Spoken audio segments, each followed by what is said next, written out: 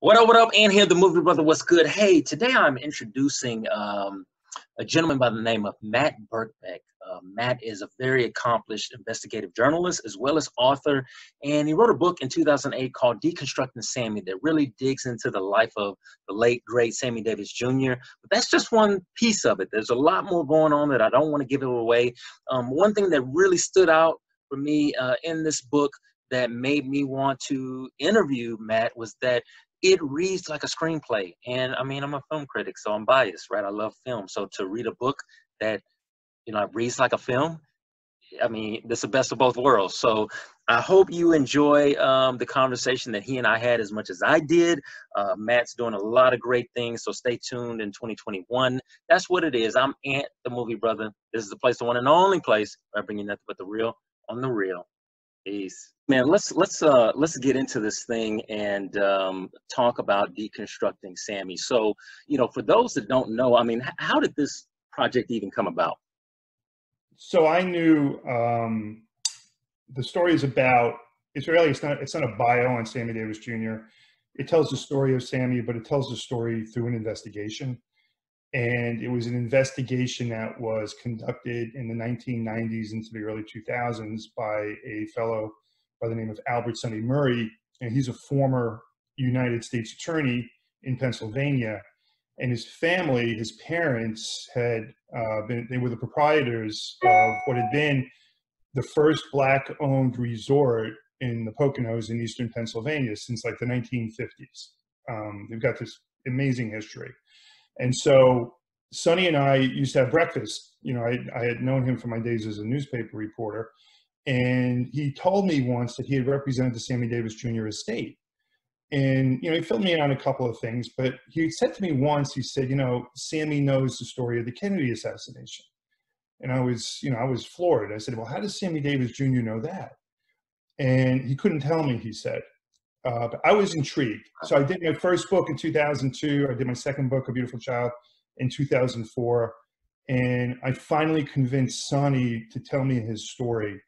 And it took me, I mean, that's how, and that's how I got into it. And from 2000, I'd say late 2004, 2000, actually, no, it was a little bit later than that. It was probably around 06 um, that I really started diving into it. And uh, it was an, it was an incredible story um, in which you basically tell the story of Sammy Davis Jr.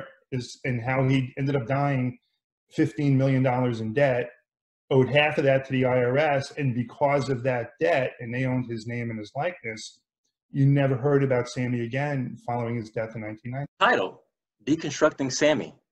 Uh, now I know you've written this some you know some time ago, but uh, you know any particular reason why you know why you chose or you guys chose that title?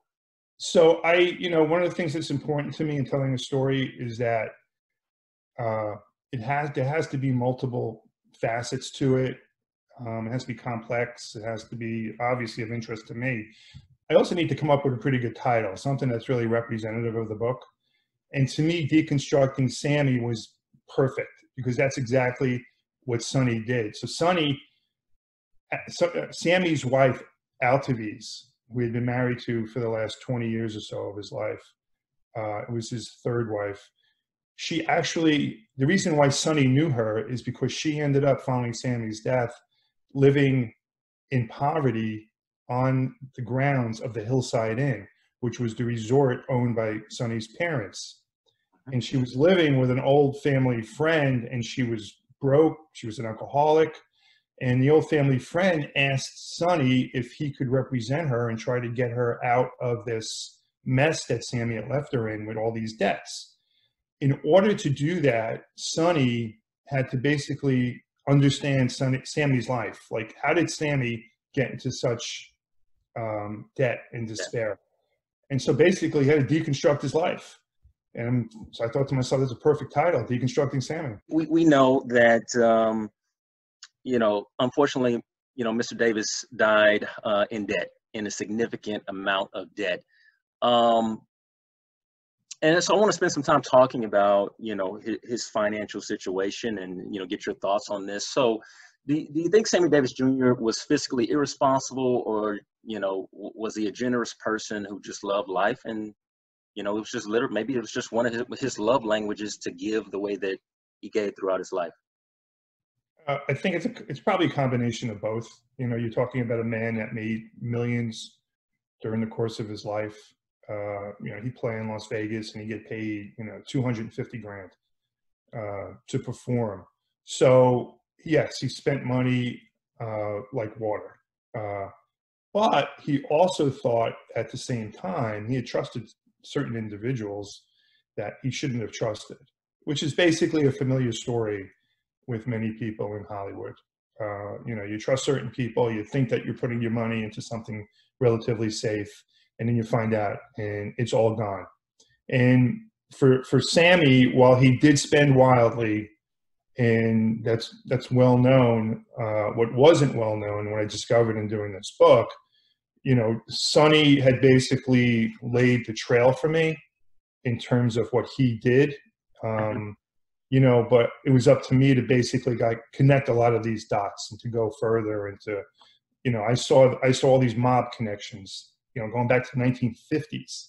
So when he first met Frank Sinatra, it was Frank Sinatra that, interviewed, that introduced him to his first attorney, Sammy's first attorney, and he was a mob guy.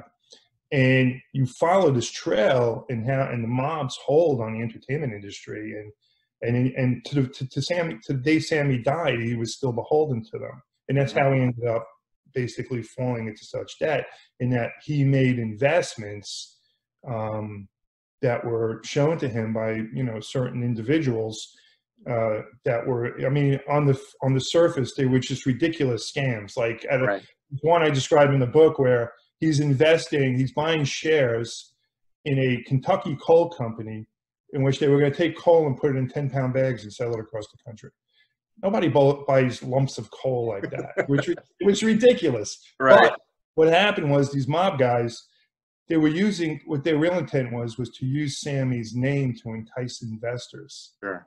into these sure. bogus deals, and then they would just scam everybody. So unfortunately for Sammy, he had used um, them as tax shelters, and the IRS um, denied them. That's what left them in debt. But it was a combination of someone who just enjoyed life. Sure. Enjoyed everything that life had to offer, and then some. Um, you know, but also just being in bed with some really bad people. Yeah,